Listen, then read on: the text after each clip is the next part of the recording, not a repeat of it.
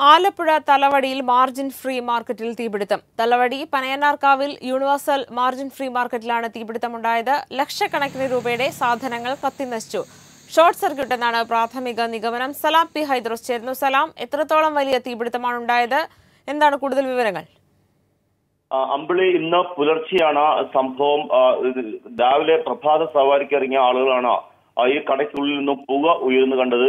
തലവടി പനന്നാർക്കാവ് ജംഗ്ഷനിലെ universal margin market ഷോപ്പിനുള്ളിലാണ് പുക കണ്ടത്. ഉടൻ തന്നെ ഈ നാട്ടുകാർ ആ ഫയർഫോഴ്സിനെ വിവരമറിയിച്ചു രണ്ട് ഫയർഫോഴ്സ് യൂണിറ്റുകൾ വന്ന് ആ തീയണച്ചു ലക്ഷക്കണക്കിന് രൂപയുടെ നഷ്ടം ഉണ്ടായി എന്നാണ് കട ഉടമ പറയുന്നത്. നൌഷ് അനീഷ് എന്നയാളുടെ ഉടമസ്ഥയുള്ള കടയാണിത്. അരമണിക്കൂറിനകം തന്നെ ഫയർഫോഴ്സ് യൂണിറ്റുകൾ തീ അണച്ചു. സമീപ പ്രദേശങ്ങളിലേക്കോ കെട്ടിടങ്ങളിലേക്കോ തീ പടർന്നിട്ടില്ല അമ്പിളി. ശരി സലാം.